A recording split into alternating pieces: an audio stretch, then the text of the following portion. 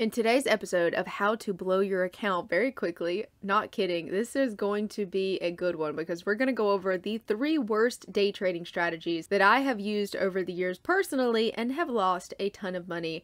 And these were mainly when I was in the beginning stages, like the first three years, and I was just trying to figure out what strategy to use, basically how to make money, how to become profitable, and I tried it all pretty much. And so, yeah, now I have some wisdom to share with you guys on the worst day trading strategies strategies to avoid.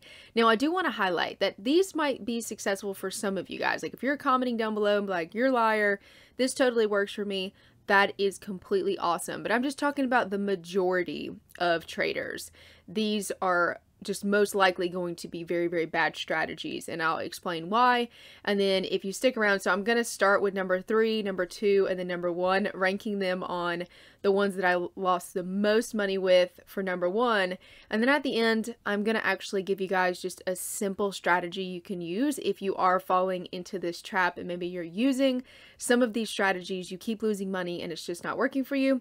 At the end, I will go over a basic strategy that I found success with in the beginning and I hope it will help you too. But with that being said, as always, let's dive right in. And I'm going to go over examples of each. So number three on this list is new high of day slash new low of day breakouts. And so basically what this strategy looks like, and we're going to use this day on SPY as an example just because this happened recently and so I can easily recall what was going on.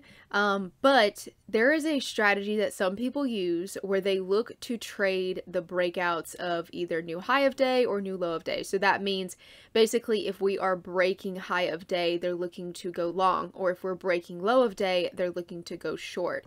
And I tried this strategy for a few weeks and I failed miserably. And there's actually a very, very obvious reason. I mean, eight years later is pretty obvious to me, but it might not be to you if you're new. So just to highlight right off the bat, the reason it typically does not work is because your risk versus reward is really, really crappy.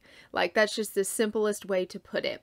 And the way that you can calculate that is because if you're breaking new high of day then your risk level is going to be very, very high unless you are having like a really tight stop loss, for example. So if you are risking low of day and you're trying to trade the break of new high of day, that's horrible risk versus reward, right?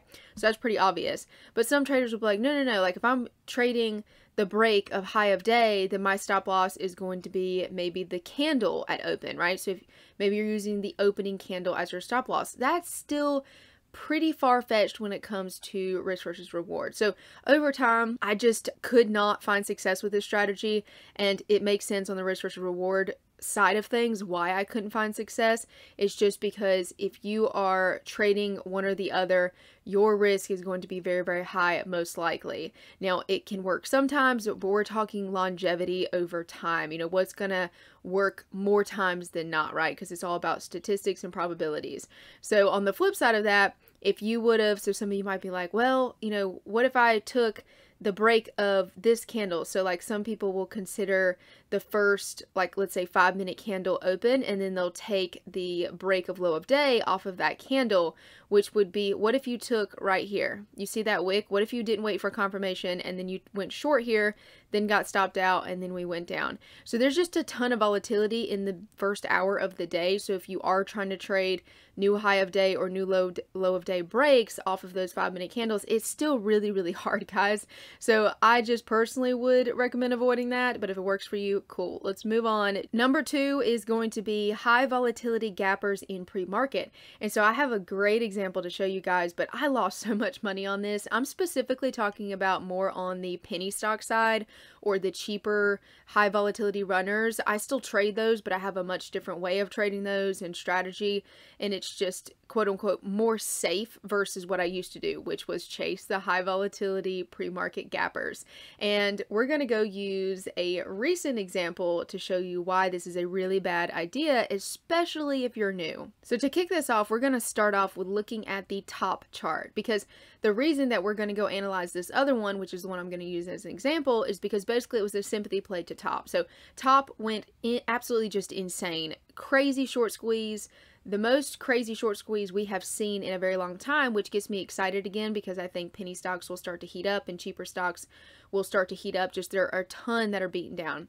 But again, that's a different topic. What I want to focus on is the fact that now traders are going to get FOMO very easily because they've seen this after hours action. I mean, heck, it went from $6 over here to 260. So of course, you're going to start to get FOMO when it comes to any type of potential sympathy play. And this is used to happen to me all the time. And I swear to you guys, it will most likely bite you in the you know what more than it will help you. Because yes if you would have traded top and broke the rules and like you know chased the pre-market or after hours runner you would have made really good money. But nine times out of ten you're most likely going to miss the original move on the leader which was top and you're going to go try to trade something like a sympathy like we're going to use megl for the example on the high volatility runners and why it can be a bad idea and i have to delete some things just because I am potentially looking to trade this into next week, but there are certain criteria that I'm looking for. Aside from that, let's focus on what could have went wrong. And so what I used to do way back in the day when I was only trading penny stocks, because that's how I started out, is I was looking for these high volatility runners to play them, right? But I was mainly finding that they were having these big moves up in pre-market, and then I was trying to trade them in pre-market. Now, this can become a disaster for a few different reasons. It's really, really difficult for you to properly manage your risk in pre market versus the actual trading day. You typically have lower volume, there's a wider bid and ask, so if you're trying to size in and it goes against you, you are going to most likely lose more money way quicker. There's also the risk for things like offerings, right? And so these big gap ups in pre-market can present an awesome opportunity for a company that doesn't make a lot of money, hence most penny stocks, to drop an offering. So that's something to be aware of. But I would see this run up, and especially if I saw something like top back in the day, I would be really, really quick to start jumping in. And yes, you can get lucky and get small pieces of this move, but you've just got to be very, very careful and figure out a, a way and a strategy that works for you to trade these because again, nine times out of ten, if you're going to chase in pre market, you're most likely going to get caught in a trap a time or two, and it only takes a time or two, a big flush down, and you have cut your account in half. So, when it comes to these big pre market movers, me personally, I don't trade size pre market or after hours. If I'm trading pre market or after hours, it's just fun money, play money. I save my size for market open, and I also save it for dips. So I look for discounts on big volatility like this. I'm not out here at open buying and holding and hoping for the best because that is a horrible strategy, but I've done it. I will be 100% honest with you.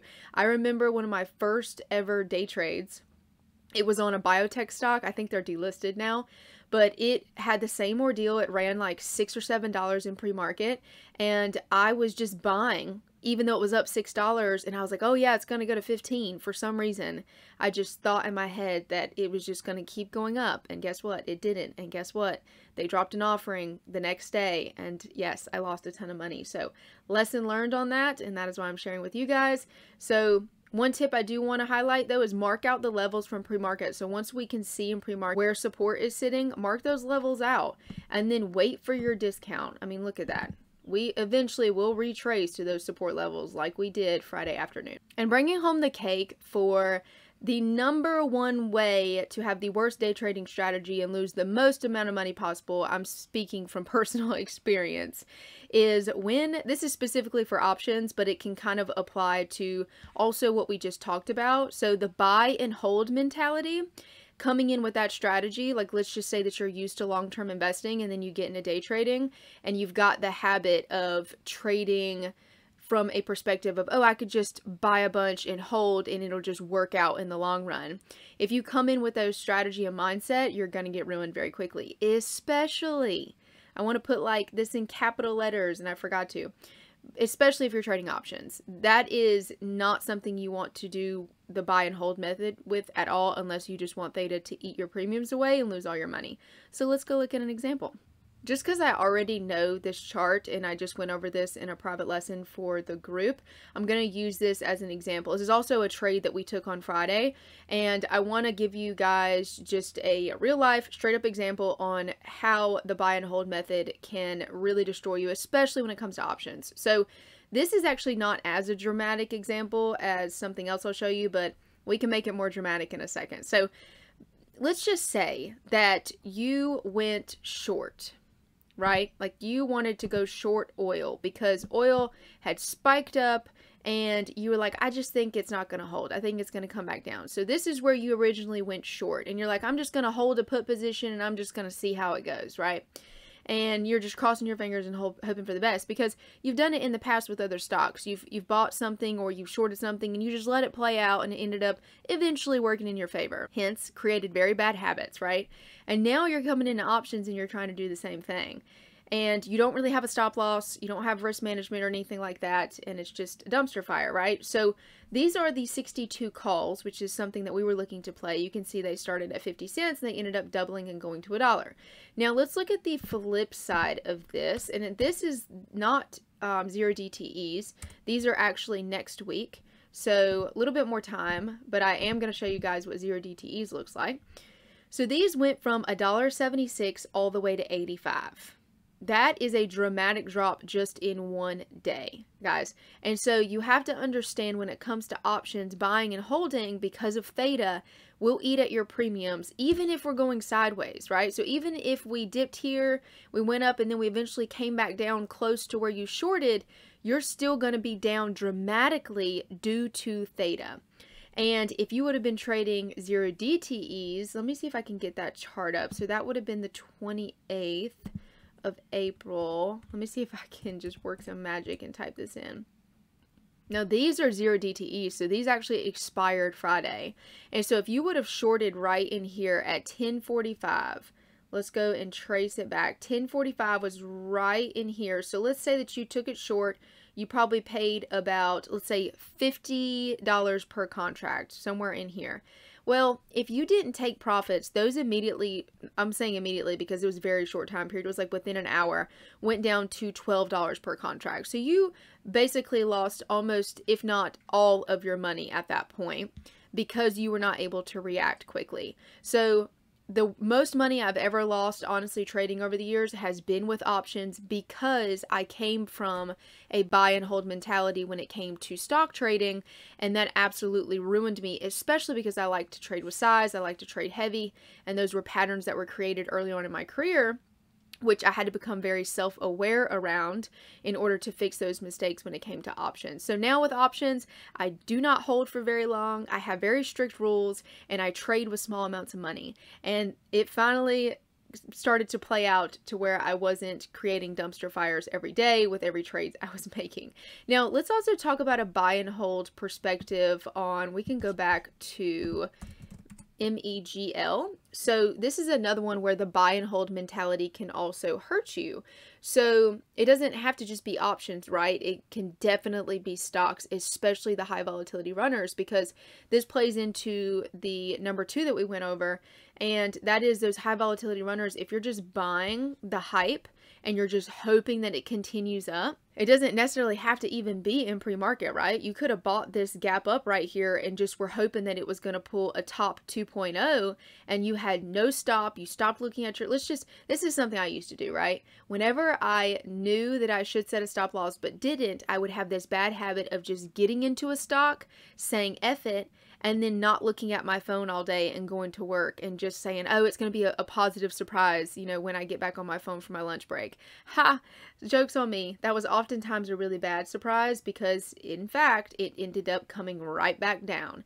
And I would be down a ton of money because I had that buy and hold mentality. If you're not buying at a discount, if you're not buying the dip before the hype, you need to have a set target and a set stop loss or trust me, you will lose a ton of money. And the whole point of this video is just to point out mistakes I've made over the years using bad strategy and hopefully you guys don't repeat the same mistakes that I made. So now lastly to end this video on a more positive note, let's just go over super basic strategy you could start with which is using basic trend lines. And I actually just decided to continue the trend line theory just because I just did a video on that not too long ago. It should be one to two videos back um, using SPY and ES.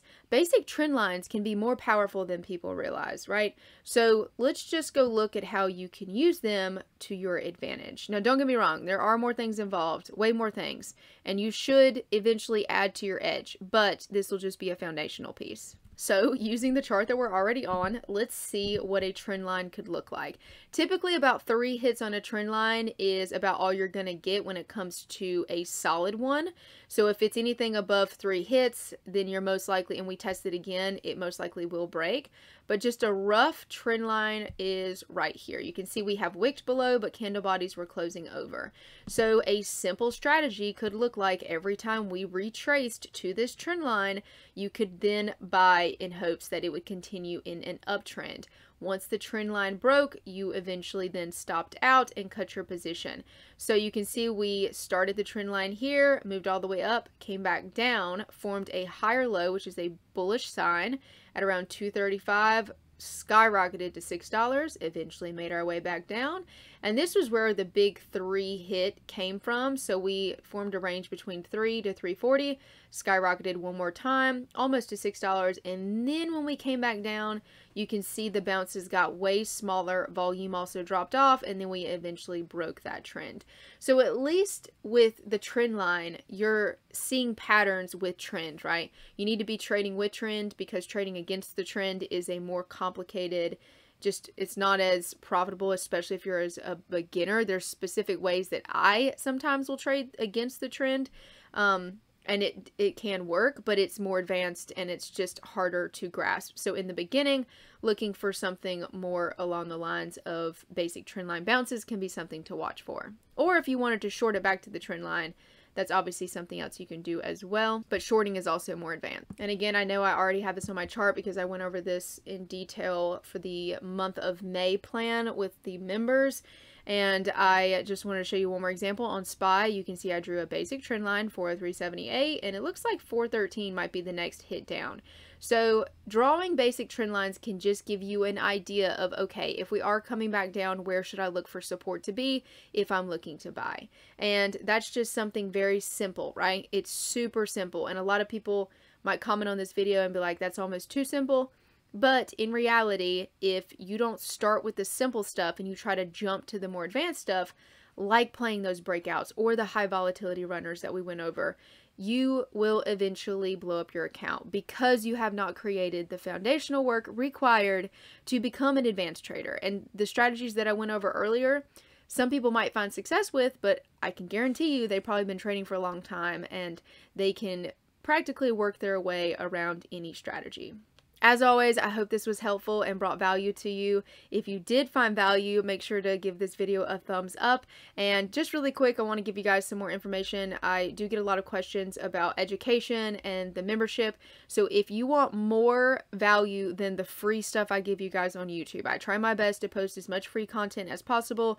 I also try to post on my Instagram stories. So if you're not following me, my only account is linked in the description box down below.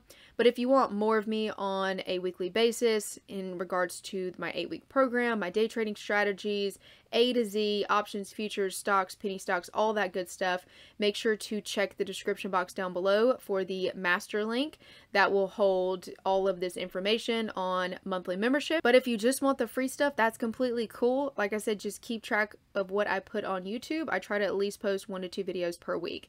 And then that's pretty much a wrap. Just don't fall for scammers. Uh, in the comments down below, I do not have WhatsApp. Those are all spam bots. And then when it comes to Instagram, I'll never direct message you. Please do not fall for any scams. And that's a wrap for today. Thank you guys again for watching, and I'll see you next week.